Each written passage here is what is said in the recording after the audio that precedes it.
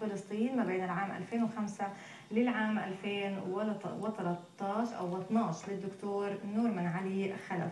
طبعا هذا الكتاب باللغتين الإنجليزية والألمانية ويعني نشير إلى أنه كان صدر هذا الكتاب باللغتين الإنجليزية والألمانية والعربية أيضا الجزء الأول والجزء الثاني.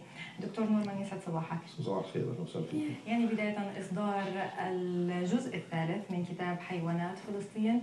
إذا بدنا نحكي ماذا يحتوي من جديد بيميزه عن الجزء الأول والثاني. طبعا الجزء الثالث يعتبر مكمل الأول والثاني. أنا بطمح إنه يكون عندنا موسوعة كاملة لحيوانات فلسطين. آه، طبعا أنا مشواري العلمي آه، ابتدأ من تقريبا 1980 من تقريبا 33 سنة. آه، خلال هالفترة الطويلة جدا قمنا بدراسات كثيرة جدا. داخل الوطن وأيضا حتى في الجزيرة العربية بشكل عام. وسعيت أنه يتم توثيق الحياة الحيوانية آه، داخل فلسطين آه، طبعا من خلال أبحاث علمية، هذه الأبحاث العلمية كتبت بثلاث لغات العربية والإنجليزية والألمانية آه، خلال تواجدي ودراستي في ألمانيا وأيضا آه، قيامي بالتدريس فيها وأيضا الآن في الإمارات.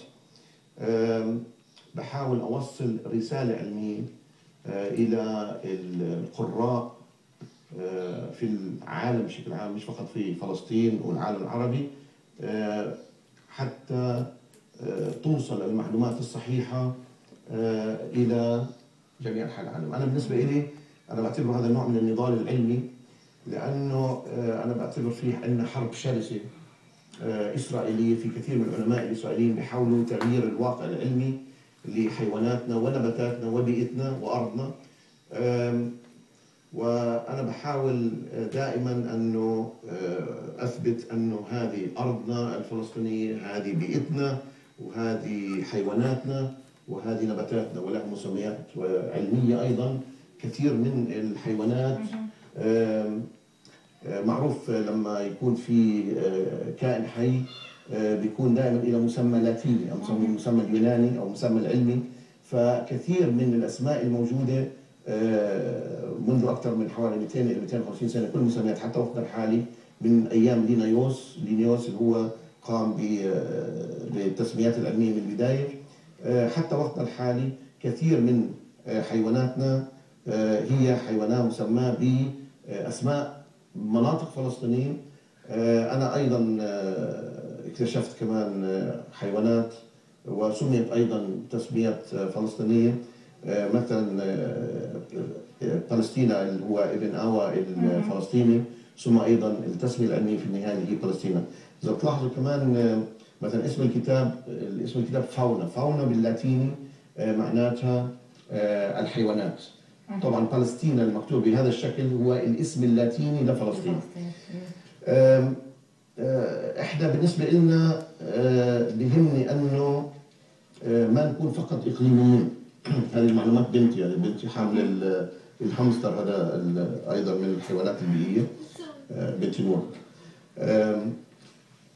بالنسبة لي أنه مفروض رسالتنا توصل إلى جميع أنحاء العالم.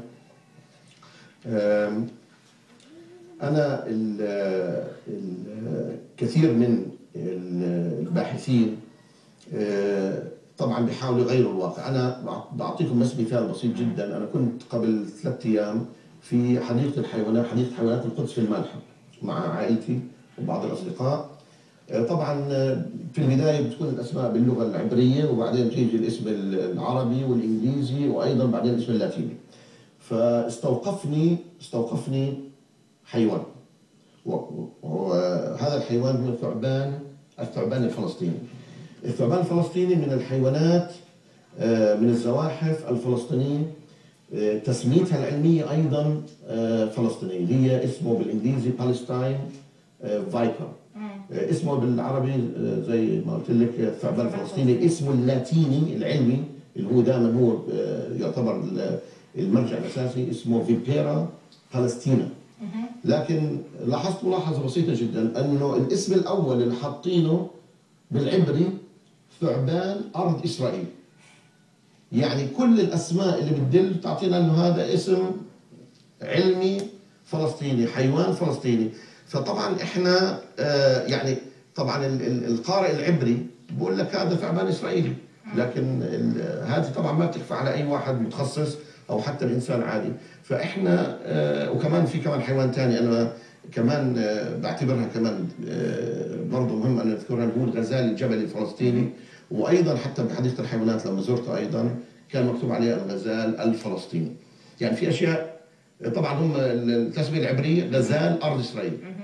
فإحنا بالنسبة لنا حتى موضوع عصفور الشمس الفلسطيني نفس الشيء عصفور الشمس الفلسطيني Palestine sunbird بتلاحظوا بال- بالويكيبيديا مثلا آه، وأيضا العلماء الطيور الإسرائيليين بيحاولوا يسموه مش Palestine sunbird طبعا Israel sunbird فطبعا في إحنا بالنسبة لنا دائما أنا بعتبره نضال وطني هذه الكتب يعني كما ذكرت هذه الكتب بالاجزاء الثلاثة واللي بتعتبر عمليا هي يعني كتاب علمي يحتوي على العديد من الأبحاث والدراسات النظرية والعلمية أيضا حول موضوع الحيوانات تحديدا في فلسطين، كيف ممكن ترد على كل هذه المحاولات لسرقة يعني التاريخ وسرقة مكونات هذه الحضارة؟ والله إحنا بالنسبة لنا آه، زي ما قلت لك إحنا بنحاول آه، نركز في أبحاثنا على الهوية العلمية الفلسطينية لحيواناتنا آه، بنحاول مثلا كمثال آه، حتى عصفور الشمس الفلسطيني آه، زي زي ما حكيت أنه كمثال. بنحاول نركز على هذا الطير إحنا بالنسبة لنا لأنه حتى يتم اختياره لاسم مسابقة. نعم هو مش بس كمسابقة أنا ب... لأنه هذا بالنسبة إلي كمان أيضا نوع من النضال الوطني لكن كمان آه، عصفور الشمس الفلسطيني زي- ما قلت آه، بتحاول إسرائيل تسرقه لكن في نقطة هامة جدا كل دولة في العالم لها عصفور وطني ولها نبات وطني. يعني حتى في بعض الدول في أعلامها آه، موجود الحيوانات. مثلا عندك في الكيوي موجود مثلا في نيوزيلندا مثلا في ال maple leaf موجود في كندا مثلا أرز لبنان موجود في العلم آه، إحنا حتى الآن آم، آه، رغم جهود كثيرة جدا من جمعية الحياة البرية في فلسطين هناك جهود كبيرة آه، من أجل آه، تسمية عصفور الشمس الفلسطيني كعصفور وطني فلسطيني. فأنا لذلك آه، قمت برعاية آه، جائزة تحمل اسم التنوع الحيوي في فلسطين آه، من أجل إبراز هذه الهوية الوطنية. ومن أجل الاهتمام بهذا ال- الطير بالتعاون مع طبعا وزارة التربية والتعليم الفلسطينية وجمعية الحياة البرية في فلسطين. وطبعا إحنا كان هدفنا أنه آه، توصل رسالتنا إلى أطفال إلى أطفال المدارس. آه، أنه أطفال المدارس يكون فيهم آه، يعني نوع من الوعي البيئي ويتجهوا إلى ال- البيئة. وطبعا كانت هي المسابقة هي مسابقة تصوير ضوئي وكتابة البحث العلمي. يعني آه، آه، أيضا تشجيع الطلاب على الكتاب البحث العلمي والكتابة. عشان معناش كثير وقت حابين. يعني حابين نستغل الفرصة تفضل. ووجودك معنا هنا تفضل. بدبي إذا بدنا نحكي عن حيوانات فلسطين يعني في هذه الأبحاث الثلاثة قديش ممكن نقول عدد الحيوانات في فلسطين؟ رغم إنه المساحة تعتبر صغيرة. طبعا آه، فلسطين مميزة فلسطين مميز جدا آه، لأنه لها وضع نقول جغرافي آه، مميز ما بين قارات ثلاثة آه، ما بين إفريقيا وما بين آسيا وما بين أوروبا. آه، طبعا اختلاف الطبيعة الطبوغرافية يعني في عندك مناطق صحراوية بالجنوب مناطق النقب عندك مناطق جبلية عندك مناطق سهلية في مناطق طبعا في كثير من جداول المياه في مناطق مرتفعة جدا اللي هي المناطق كمان الشمالية والجليل عدد الحيوانات آه، في عندك طبعا اختلاف. مثلا كمثال الثدييات حوالي آه، عندك حوالي 120 نوع من الثدييات. آه، في عندك آه، مثلا الحيوانات بشكل عام تقدر بحوالي آه، 7000 7000 نوع. يعني طبعا ال- المجموعة الكبيرة جدا من الحيوانات عندنا الحشرات. هل في حيوانات سريعا عم تنقرض من فلسطين؟ والله. في طبعا في حيوانات كثير جدا تنقرض. آه، مثلا في حيوانات بالفعل انقرضت مثلا الحيوانات اللي تقريبا على حافة الانقراض هو النمر العربي اللي هو ال Arabian leopard في كانت حيوانات موجودة؟ بذكرها بس سريع عارف البرنامج بده يخلص. عندنا مثلا الفهد العربي كان موجود كان عندنا الدب السوري كان موجود في فلسطين كان عندنا المها العربي. آه، هذه حيوانات آه، كانت موجودة في بيئتنا. حتى في وقت من الأوقات كان في الأسد.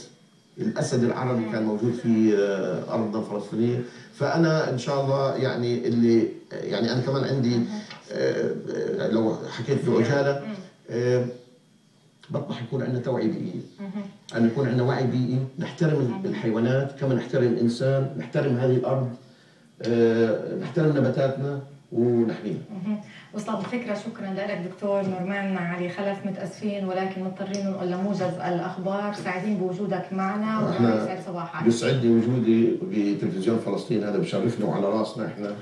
وبارك الله فيكم بجهودكم شكرا لك. شكرا كثير. مشاهدينا إلى هنا نصل إلى ختام هذا المشوار الصباحي من فلسطين. هذا